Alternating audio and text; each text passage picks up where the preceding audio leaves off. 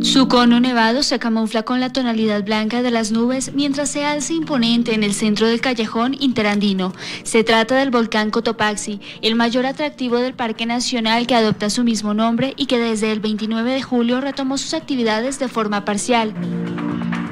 Los visitantes, que a raíz de la pandemia son en su totalidad nacionales, deben cumplir con una serie de requisitos de bioseguridad. Para el ingreso en el control CASPI se debe realizar un registro para posteriormente escuchar las indicaciones de los guardaparques. A lo largo del recorrido se han dispuesto varios puntos para lavado de manos. Además, es obligatorio el uso de la mascarilla. Está aperturado el parque desde las 8 de la mañana a 2 de la tarde pueden realizar el ingreso y la salida hasta las 3 de la tarde. Recorrer el parque es conectarse con la naturaleza, disfrutar de paisajes paradisiacos detenidos en el tiempo. Una de las primeras atracciones es el Valle Encantado y el Cañón del Río Pita. Desde aquí se puede observar las huellas de la erupción más reciente, un camino encañonado que se va perdiendo en medio del bosque.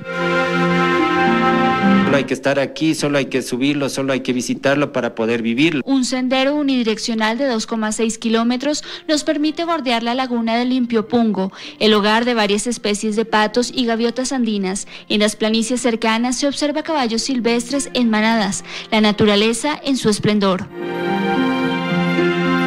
Sí, sí estaba esperando que reactive. Es una muy buena salida realmente, pueden apreciar todo lo que tiene Ecuador. Luego de 45 minutos de caminata, la primera parada es el refugio José Rivas a 4.864 metros sobre el nivel del mar.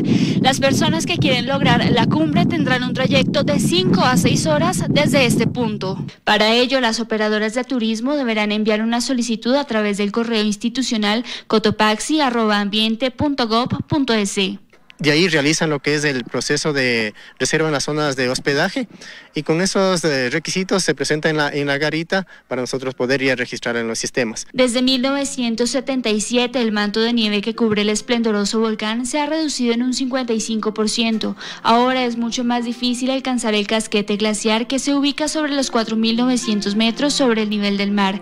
Muchos han logrado el sueño de llegar a la cima a 5.897 metros y lo han inmortalizado en banderas de distintas nacionalidades.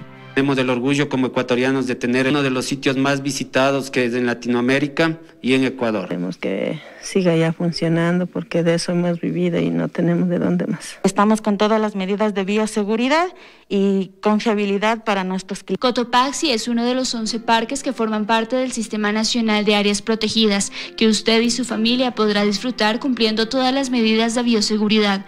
Un tesoro que representa la gran biodiversidad y majestuosidad de este país. Con cámaras de Juan Pablo Moreno y Boris Bolagay, Daniela Valencia, 24 horas.